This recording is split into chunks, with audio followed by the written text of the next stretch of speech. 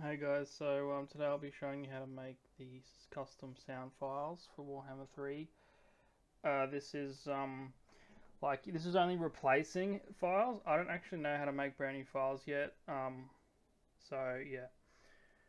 So you need three programs. You need Rusted Pack File Manager, you need Asset Editor, and you need um, uh, WWise. So um, you'll be able to find them on Google or whatever. So I'll show you first what to do. We'll do this.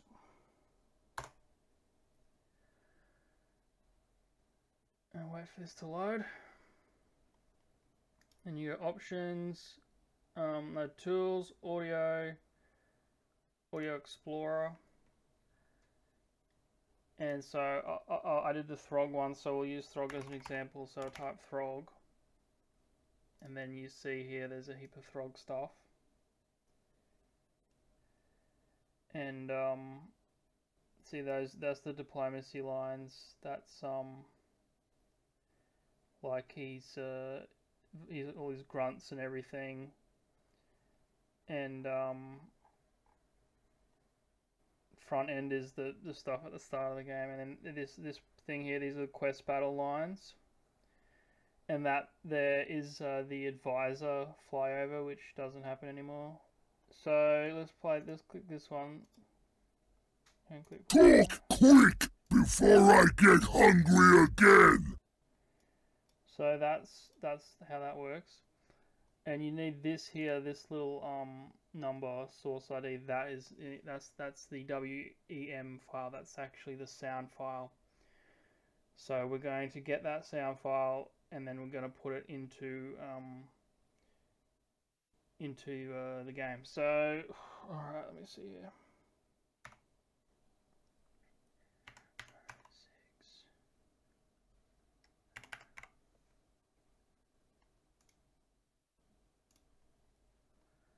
So here is I have uh, gotten my new voice actor and um, I've gotten all these sounds and extracted them out got all the script and everything ready for him, gave him that, and then so. Uh, a welcome distraction from my loneliness. So that is the new sound file for that sound we just found. So now let's replace that. So to do that, you've got to go into this program WeWise now, which is um, WWise. I don't know why I call it WeWise. It just rolls off the tongue better. So click on that. There's all sorts of tutorials and stuff. This program's like some massive big program that all the official companies use to do their sound files. It's like a whole thing, but I'm only using it like literally for the most simplest of things. So I go new, I just say like Throg project. Alright, well this is a blank new file for WeWise. Okay, now here's this is very important. This is what stopped me a long time. It never worked because I didn't do this step, which is project settings, source settings, default conversion settings. You have to change that to Vorbis quality high, or else uh, the Total War program doesn't it doesn't understand the sound file. It doesn't like can't it just it won't play the sound. You'll put it in, but because you haven't set it to Vorbis quality high, nothing will play. So that I was stuck on that for the longest time. So you do that Oh, another time, and, and then you go, yeah, okay, so now I've set that to that, and then I go import. Um, and then I go, I'll just add folders.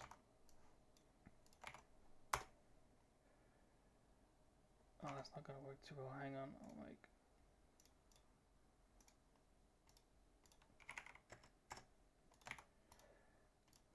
And add that folder, and now it's picked up that sound. You can do it in batches, but I'm just doing one now to show you. So, okay, now it's in there. And then um, you go File, Convert, and then that's it, it's converted. Uh, now, one more thing that's very important that I also had trouble with once. Um, you change the conversion thing first. If you import the file, then change the conversion thing to Vorbis, then go export, it doesn't actually change it to Vorbis that screwed me over once as well. So make sure the very first thing you do when you open up a project is change it to Vorbis, then import your files. Alright, so now I've done that. Um, now I'm searching. It's it's converted it, but I'm like, where the fuck is that? It converted to here. I've just searched. So that's where it's converted to. Now, um, here's something another user, Draz here, told me. Because if you're doing these in big batches, right, it's got it's added this extra bit on the end, which you um you don't want that because it's not going to be able to read it. It's not going to be able to read it now, so you have to actually delete that to uh, make it.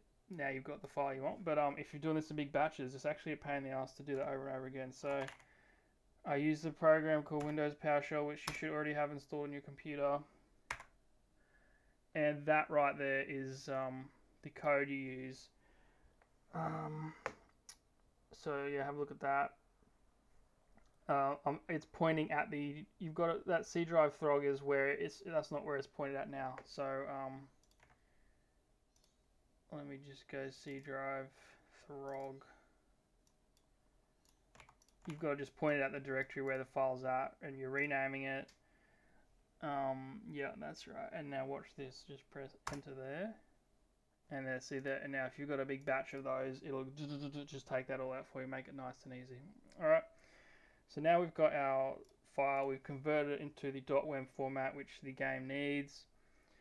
And um, let me just show you now. I'm going. We're now we're going to put it into the pack file to play. So here's an example. This here is uh, the the pack file of the finished Throg mod.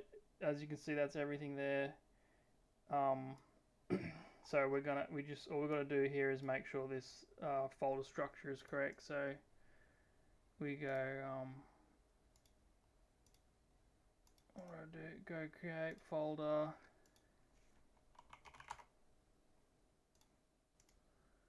create folder.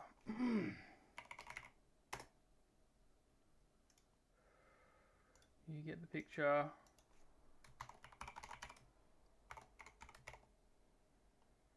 Now we go add file. We get this. Bang, there it is. That's now a pack file. That will now that sound file has now been replaced when you boot up the game it'll play your sound file, not the one that is in there previously. And uh, one other thing to show you is um, we've got here this text section. So this is um, this is basically what you want to do if you want to change these subtitles as well. So that's the um, diplomacy strings there. That's all of them. So I've just got them there. And you find them in a pack file called local underscore en in the data folder. So you can get all your you can search through all that there. Uh, and then the other one for subtitles is um, scripted subtitles, which is the quest battle subtitles. So if you're changing a character, you'll want to do that. So yeah, that should be everything. I think I've explained everything. Um, so that's just how you replace sound files. You'll obviously want to spend a lot of time here in this program just looking around, searching for all sorts of things you want to replace, like it's massive. I'm pretty sure someone's told me um, like this is the biggest WWise project in the world. Uh, Total War Warhammer the trilogy. They've got that many sound files, but um, all it does is replace them. So that's the problem. So say you wanted to do Alberic, right? He doesn't have.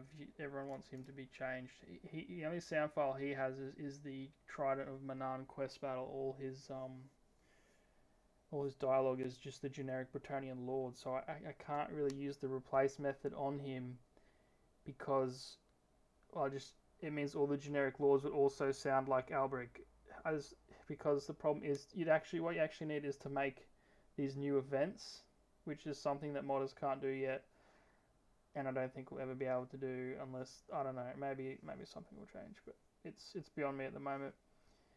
There is one way you could make Alberic work, and that is if you made an Alberic who was actually not Alberic, he was like Nakai the Wanderer. He had all of Nakai's audio files, but you know, you made him look exactly like Alberic, he's just using Nakai's voice files.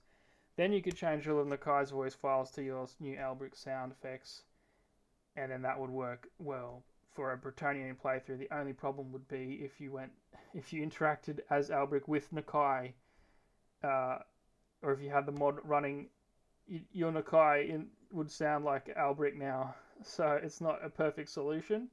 but that is one something we could definitely do right now using this technique. All right, lads, that should be everything. If you have any questions, I might answer them if, or I might not. I don't know. Just um, that should be. You shouldn't need to ask any questions. It should be all good. But um, you can hit up the Discord and, and comments and stuff and, and get help that way. Uh, yeah, good luck with the audio modding, boys and girls.